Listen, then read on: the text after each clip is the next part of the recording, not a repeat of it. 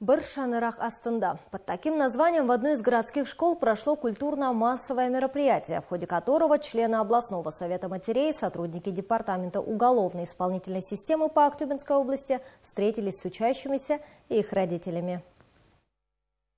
Мероприятие началось с выставки. Ученики презентовали свои изделия, изготовленные в стенах школы. К слову, в образовательном учреждении действует более пяти различных кружков, направленных на воспитание казахстанского патриотизма.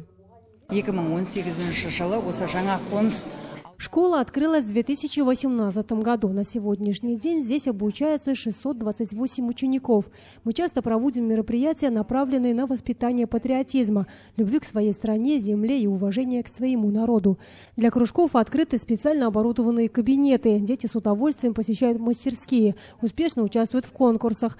В рамках республиканского проекта, посвященного Дню единства народу Казахстана, мы позвали членов областного совета матерей, сотрудников департамента уголовно-исполнительной системы для беседы с родителями и учащимися. Знаете, посетили сегодня школу, такую замечательную, такую красивую. Говорят, школе уже 4 года, но так оснащена, до того все продумано, все очень-очень, прям вот, знаете, аж, как говорят, мурашки по телу бегают. Очень все патриотично, все рассказано. Педагоги умницы, все показывают, все рассказывают.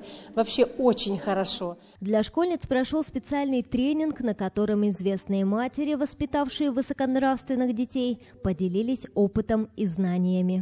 Совет матерей Актюбинской области работает сейчас по программе Мединиеты, она Мединиеты Улт.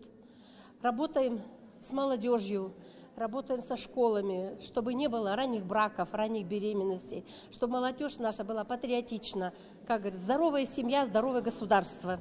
В связи с этим хочу всех поздравить с 1 мая, Днем Единства народов Казахстана, чтобы в нашем Казахстане был мир, прежде всего, была дружба между народами, чтобы мы трудились на благо нашего Казахстана, чтобы мы были все живы, здоровы, всем мира, счастья и добра.